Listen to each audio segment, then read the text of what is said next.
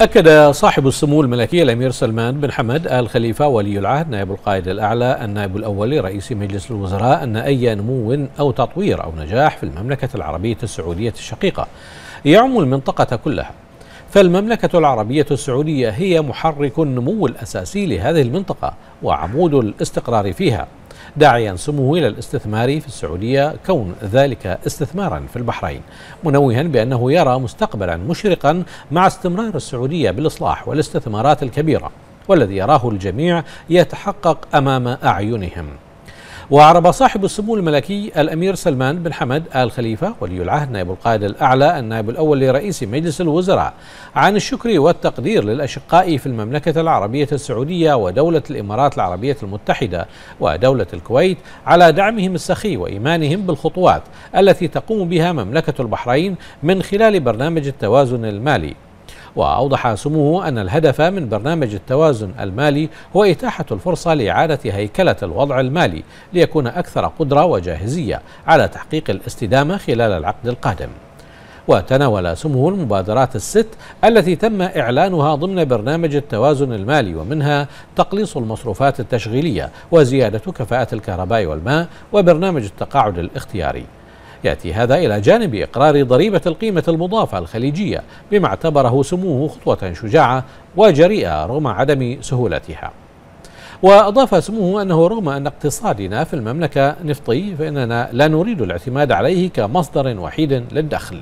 وعليه فإننا بحاجة للانتقال من اقتصاد نفطي إلى اقتصاد نفطي ذكي.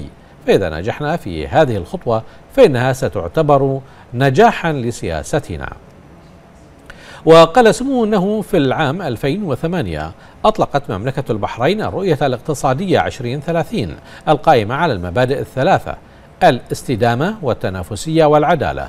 منوها في هذا الصدد إلى أن مملكة البحرين حينما أرادت أن تحافظ على الاستدامة فقد حاولنا الحفاظ على زخم الاقتصاد برغم التحديات التي واجهتنا سواء كان ذلك في الأزمة الاقتصادية العالمية أو الأزمة التي واجهتنا في 2011 مع ذلك لم يمر على مملكة البحرين قط سنة شهدت فيها نموا سلبيا. واعتبر سمو أن حفاظ مملكة البحرين على أداء اقتصادي قوي رغم التحديات والمتغيرات الاقتصادية عالميا كان نتيجة للأسس القوية التي توفرها سياساتها وتشريعاتها الاقتصادية لدعم التنوع الاقتصادي ونمو القطاع الخاص. لافتا إلى أن الاقتصاد البحريني حقق مكتسبات بارزة منذ إطلاق الرؤية الاقتصادية 2030 عام 2008 منها وصول حجم إسهام القطاعات غير النفطية إلى 80% من الناتج المحلي الإجمالي وارتفاع النمو الاقتصادي غير النفطي ب 5% ليكون بذلك الأسرع في المنطقة. وأشار سموه إلى أن مملكة البحرين تسعى دوما للحفاظ على البيئة الاستثمارية الجاذبة وتعزيزها من خلال استمرار الانفتاح الاقتصادي ووضعها ضمن الأولويات الاستراتيجية. وما مكن البيئة الاستثمارية البحرينية بمقوماتها الواعدة من تحقيق نمو في استقطاب الاستثمارات الخارجية بمعدل عشرة أضعاف خلال ثلاث سنوات في الفترة من 2015 إلى 2018 حيث كانت تبلغ 65 مليون دولار في 2015 ومن المتوقع أن تبلغ 600 مليون دولار أمريكي مع نهاية العام الجاري 2018 وهو الأمر الذي يعزز من موقع البحرين كوجهة مفضلة للاستثمار. جاء ذلك لدى مشاركة صاحب السمو الملكي الأمير سلمان بن حمد آل خليفة ولي العهد نائب القائد الأعلى النائب الأول لرئيس مجلس الوزراء. إلى جانب صاحب السمو الملكي الأمير محمد بن سلمان بن عبد العزيز آل سعود ولي العهد نائب رئيس مجلس الوزراء رئيس مجلس الشؤون الاقتصادية والتنمية ورئيس مجلس إدارة صندوق الاستثمارات العامة ودولة رئيس وزراء جمهورية لبنان سعد الحريري. في جلسة نقاشية بعنوان النهضة الكبرى دور القيادات ذات الرؤى الواضحة في تحويل العالم العربي إلى قوة اقتصادية عالمية والتي تعد إحدى أهم جلسات منتدى مبادرة مستقبل الاستثمار 2018 الذي يعقد في الرياض تحت رعاية من خادم الحرمين الشريفين الملك سلمان بن عبد العزيز آل سعود ملك المملكة العربية السعودية الشقيقة حفظه الله. كما حضر الجلسة سمو الشيخ عيسى بن سلمان بن حمد آل خليفة ووفد ووفد مملكة البحرين الذي يضم عددا من كبار المسؤولين في القطاعين العام والخاص. وتابع سموه قائلا. لقد وضعنا عددا من السياسات لمساعدتنا في تحقيق هدف المحافظة على النمو من خلال التركيز على ستة عوامل أساسية متمثلة في ضمان توفر الأراضي وسهولة الحصول على الطاقة والقوى العاملة ورؤوس الأموال وموائمة القوانين من أفضل الممارسات العالمية. ولدينا ميزة الانفتاح على العالم على جميع المستويات. وهذه أهم الأشياء التي ركزنا عليها خلال السنوات العشر الماضية. أن معدلات الإنفاق التي كانت موضوعة لم تنسجم مع البنية الاقتصادية وقد نجحنا في تنويع اقتصادنا وقد حقق النمو في القطاعات غير النفطية ما نسبته 5% وهي عالية بالنسبة للمنطقة مع الأخذ بعين الاعتبار التحديات التي تمر بها المنطقة. وأضاف سموه أنه بسبب تنويع الاقتصاد فقد بلغت إسهامات القطاعات غير النفطية 80% من الناتج المحلي الإجمالي. أما فيما يتعلق بالوضع المالي للحكومة لم يستوعب حجم النمو الاقتصادي الإيجابي اليوم النفط يمثل ما نسبته 75% من الإيرادات الحكومية. وهذا وضع غير مستدام حين الأخذ بمعدل الإنفاق الحالي. وأضاف سموه أي نمو أو تطوير أو نجاح في المملكة العربية السعودية الشقيقة سيكون أثره على كامل المنطقة. نحن نرى مستقبلا مشرقا مع استمرار السعودية بالإصلاح والاستثمارات الكبيرة ولقد رأينا ذلك يتحقق.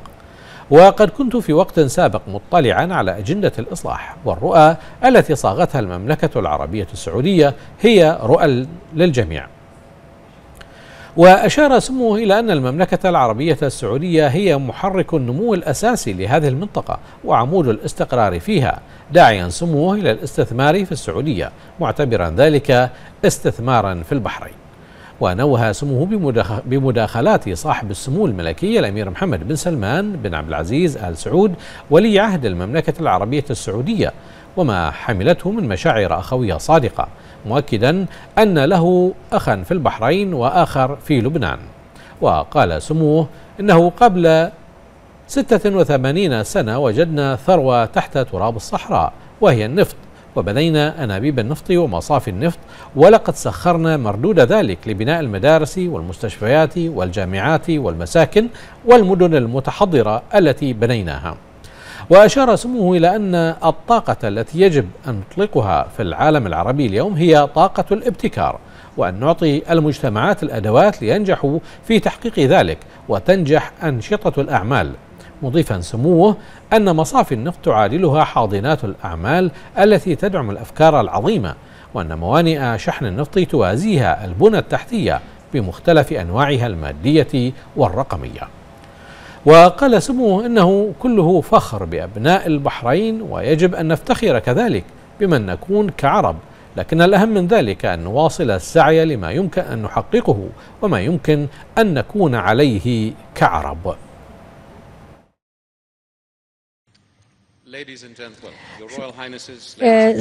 أصحاب السمو سيداتي وسادتي يسرني أن أكون معكم اليوم وفي كلمتي الافتتاحية وإجابة على هذا السؤال أود أن أشكر المملكة العربية السعودية ودولة الإمارات ودولة الكويت على سخائهم وموقفهم الكريم وتفهمهم. وإيمانهم بما نحاول فعله. ففي عام 2008 عندما أطلقت أطلقنا رؤية 2030 كانت مبنية على أسس أسس التنافسية والعدالة والاستدامة. واليوم نحن نعلم إنه إن كنا نريد أن نواجه الاستدامة لابد أن يكون هناك كثير من الثقل الذي يدعمنا و إلا أننا واجهنا الأزمة الاقتصادية في عام 2008 ومن ثم التوترات والاضطرابات التي بدأت في عام 2011 إلا أن مملكة البحرين لم يكن هناك فيها أي نمو سلبي أو ركود بالأحرى فقد وضعنا عددا من السياسات لمحاولة مساعدتنا في تحقيق تلك الأهداف. ف... آه، عالجنا ستة مجالات للإنتاج مثل الطاقة والعمالة ورأس المال والقوانين التي يجب أن تكون موازية لأفضل الممارسات وكذلك التواصل العالمي آه، آه، رقميا وفعليا. هذا كان الأساس الذي بنينا عليه عملنا لتمكين الاستدامة. آه، مستويات الإنفاق التي وضعناها لم تكن متناسبة مع الوضع الاقتصادي الراهن أو الهيكلية الاقتصادية الراهنة. وبالتالي قمنا على تنويع حقيبتنا الاقتصادية وتمكنا من تحقيق نمو جيد خلال العام الماضي.